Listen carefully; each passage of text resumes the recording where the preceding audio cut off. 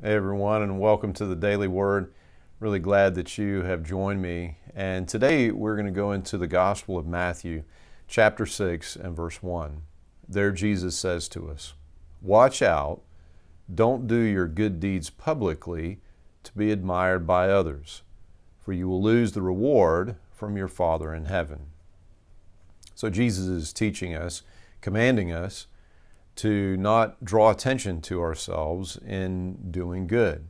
He calls us to do good, and yet we're, we're meant to not dwell on ourselves to try to get the admiration for uh, ourselves. And this, this is not so much about making sure that we're never seen doing good, to only do good if, if we can do it where no one sees us. That's not, that's not really the, the point. The, the point is that um, that we wouldn't embezzle glory from God, which we are tempted to do.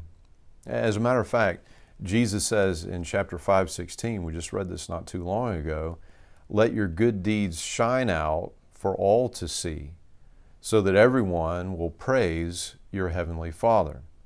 So the, the so that, the to be, really matters in this case, the, the deeds actually, in 516, the deeds actually shine out, right? They shine out for everyone to see and praise your Heavenly Father. So the point of them is to draw attention to God, to give glory to God. Whereas in 6 1, the, the point is to be admired so that we are seen and people think well uh, of us.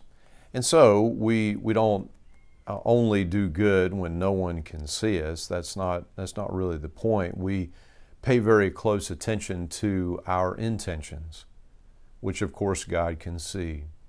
What is the purpose for which I'm doing this? Even, even while we are doing good, we are, we are making sure to keep the focus where it needs to be. We are looking with gratitude to God God, thank you for the gift that it is to serve in Jesus' name, to have the privilege to be called by your name, to have the privilege to be able to do good in your name and to point to how good you are. We look, even while we're doing good, with gratitude to God. Not with an attitude that says, um, you know, with, which honestly we're all tempted to God, uh, I'm doing this good thing f- for you. Uh, isn't it awesome? Aren't I amazing? That sort of thing uh, we look with gratitude toward God. And in regards to other people, we take great intentionality to point to God. I remember uh, when we went on a, a, a, foreign mission trip not too long ago, uh, I was I was praying to God about what message to share with this woman that we uh, were able to build a little a little house for, and uh, how we would think about that and and as, as God led, uh, I just really felt like God was, was showing me, was, was speaking to me about the fact that she had been praying for a home for so long. And as a matter of fact, the church had been praying for her to, to have a house, for somehow uh, them to be able to help uh, her. And, and so all these folks were praying for her to have a house. And just thought, what a, what a privilege I felt like God put on my heart to actually be God's answer to someone's prayer.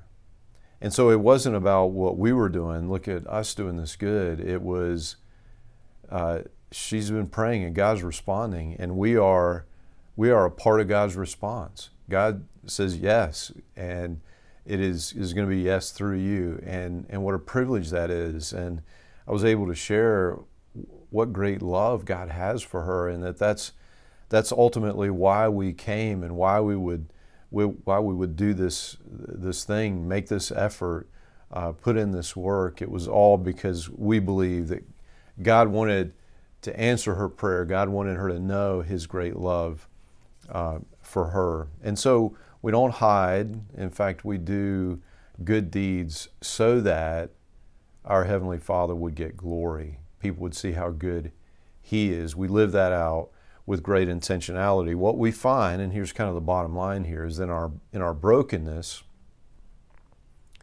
we want to take God's place. We want to have the glory that belongs to God. We want to be recognized and admired that's that's in our broken self. We want to glorify ourselves, but in our design, in our design, we are we are made for reflected glory.